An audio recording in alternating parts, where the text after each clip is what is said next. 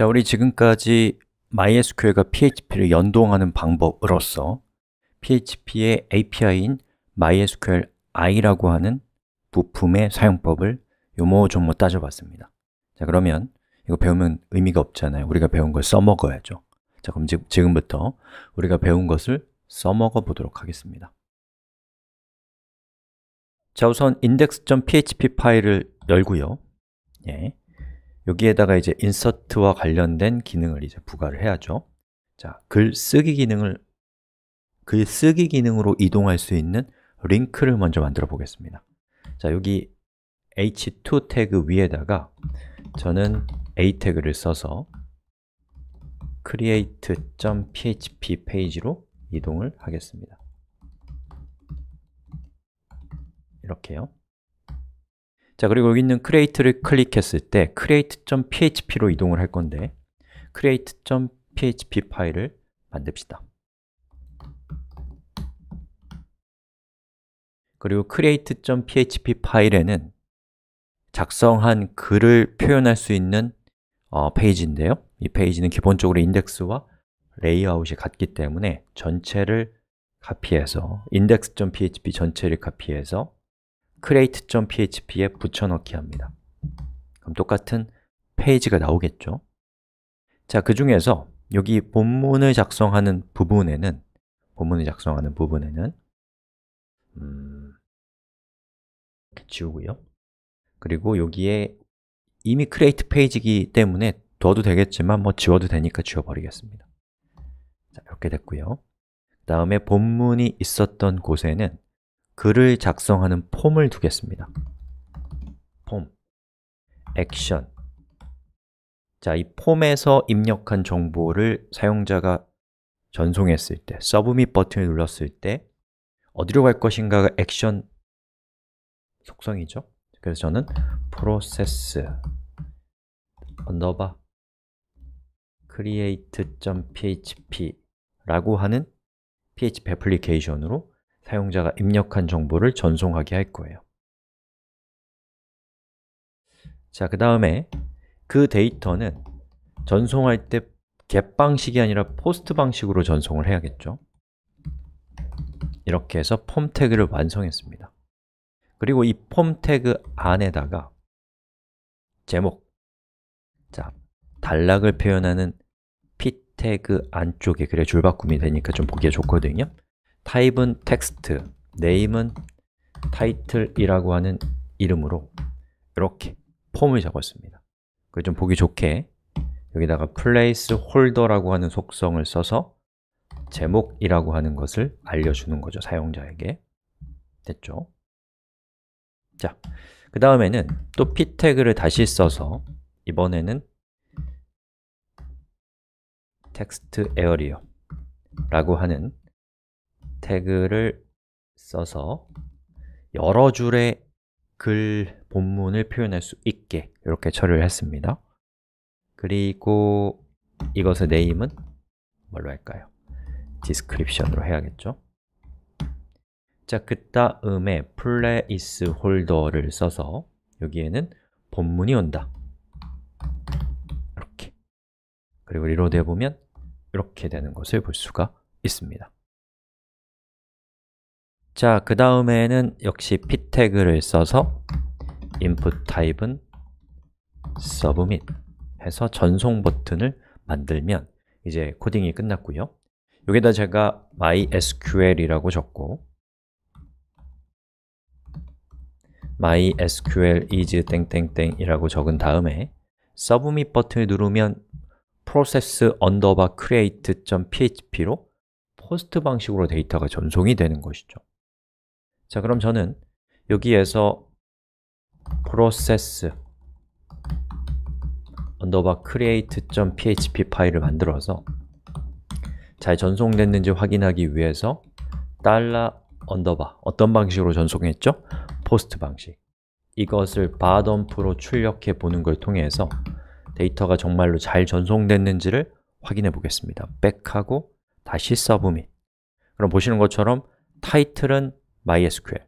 Description은 MySQL is 땡땡땡이 잘 도착했다는 것을 확인할 수 있게 되는 겁니다.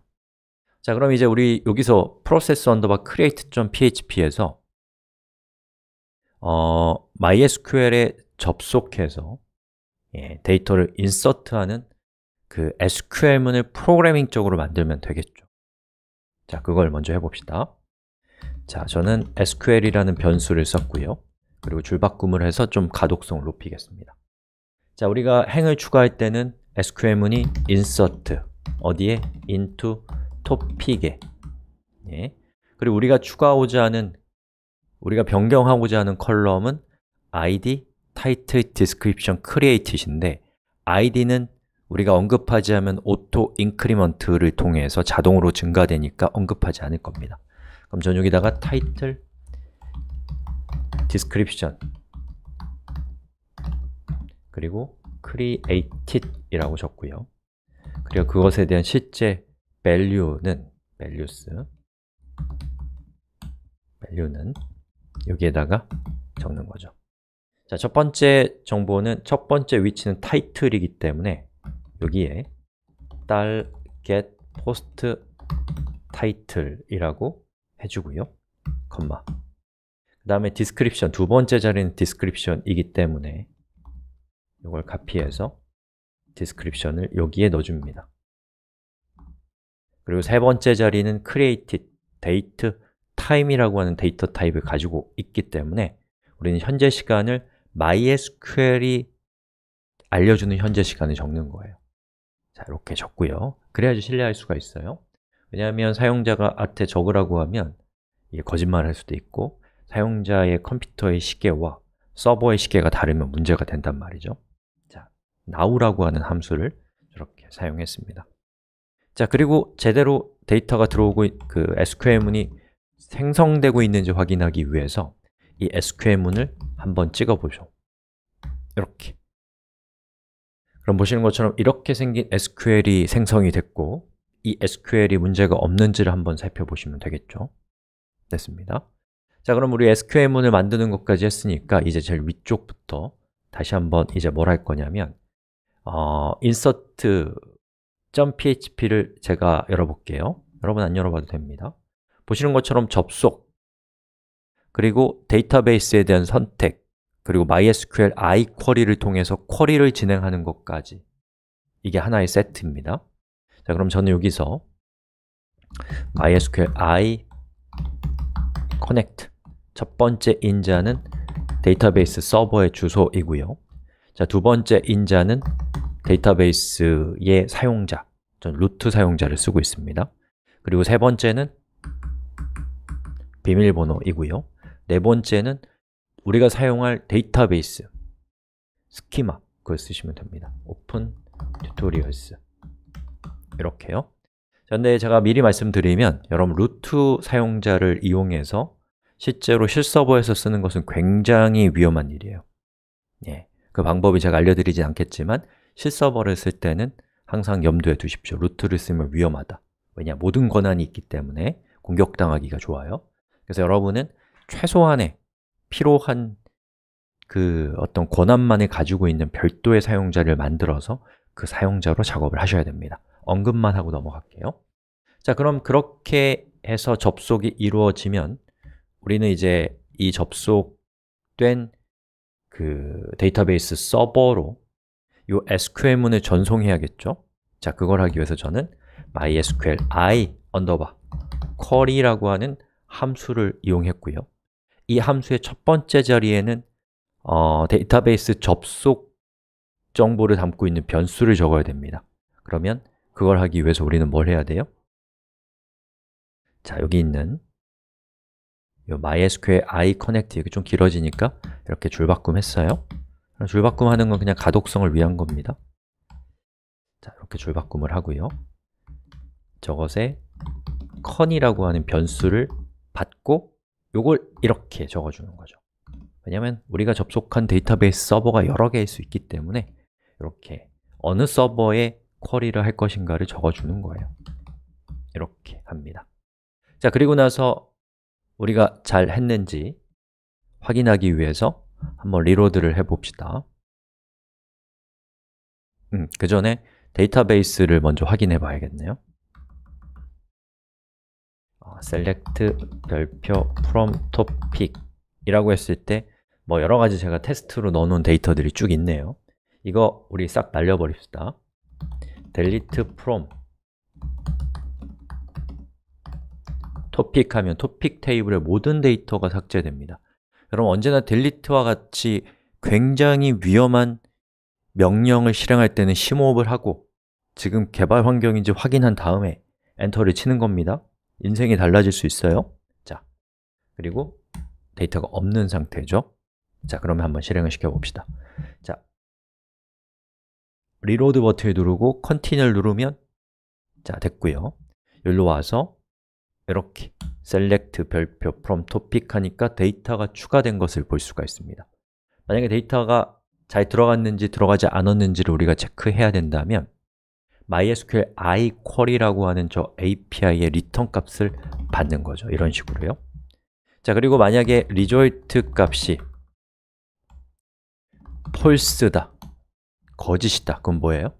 어떠한 이유로 인해서 뭔가 문제가 생긴 거예요 예, 그럼 여러분이 어떻게 하면 되냐? 사용자한테 저장하는 과정에서 문제가 생겼습니다. 관리자에게 문의해 주세요. 뭐 이런 식의 메시지를 담는 거죠.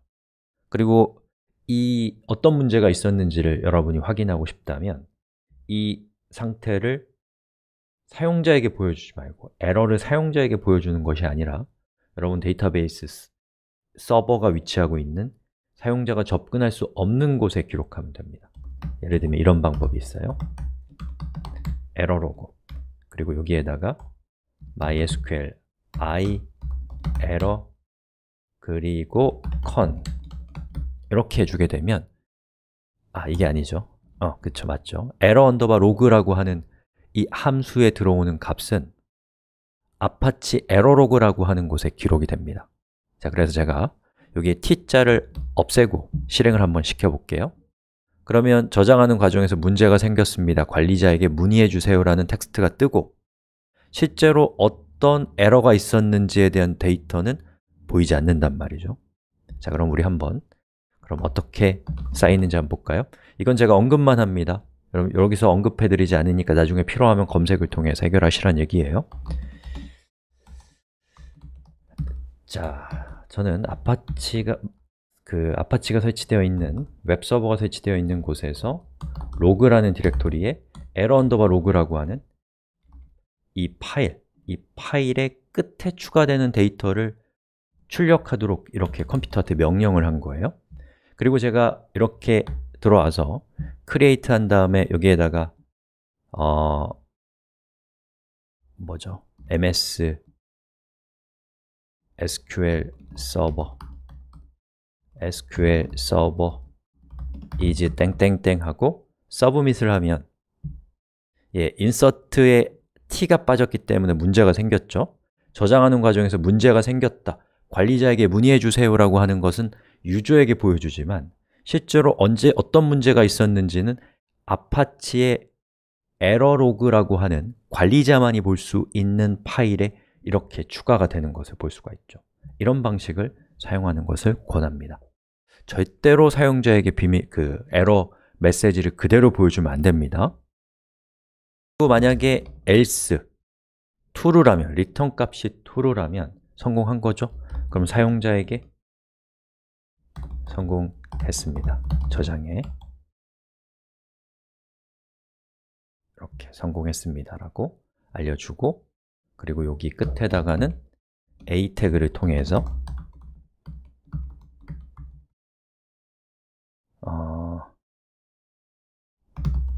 index.php로 돌아가기 라고 하는 버튼을 링크를 만들어 줄 수가 있겠죠 해볼까요? 여기 있는 t를 없애고 자, 뒤로 가서 submit 성공했습니다. 돌아가기 클릭하면 index.php로 돌아가게 되고 방금 제가 추가한 데이터가 잘 추가됐는지를 확인하기 위해서 select를 해보면 보시는 것처럼 행이 잘 추가된 것을 볼 수가 있습니다. 자, 이렇게 해서 우리가 그 SQL을 이용해서 MySQL i라고 하는 API를 이용해서 데이터베이스의 데이터를 추가하는 방법을 알아봤는데요. 아직 불완전한 점들이 많습니다. 특히나 제가 제일 신경 쓰이는 것은 지금 우리가 사용자가 전송한 달러 underbar post라는 정보를 직접 SQL 문 안에 넣어놨단 말이에요 예. 저렇게 되면 사용자는 좋은 사람도 좋은 사람이 대부분이겠지만 나쁜 사람이 한 명이라도 껴있으면 문제가 됩니다 왜냐? 데이터베이스를 다 삭제한다든지 루트 관리자의 비밀번호를 탈취한다든지 이러한 공격이 벌어질 수가 있기 때문이죠 어? 여러분은 사용자가 입력하는 어떠한 정보도 신뢰해서는 안 돼요. 그래서 지금 저렇게 우리가 순, 순진하게 타이틀이라는 사용자가 전송한 정보를 그대로 SQL에 넣게 되면 공격당할 수가 있어요. 그럼 어떻게 해야 되냐? 어, 저거를 그 살균 작업을 해야 돼요. 문제가 있는 데이터를. 그거는 우리가 뒤쪽에서 보안 파트에서 설명드릴 거니까요. 여러분이 실제로 얘를 서비스에 사용할 때는 제 말을 명심하십시오. 이대로 사용하면 안 된다는 거 자, 이렇게 해서 우리가 배운 것을 활용해서 어떻게 데이터베이스를 PHP로 제어할 수 있는가 라는 사례를 살펴봤습니다. 여기까지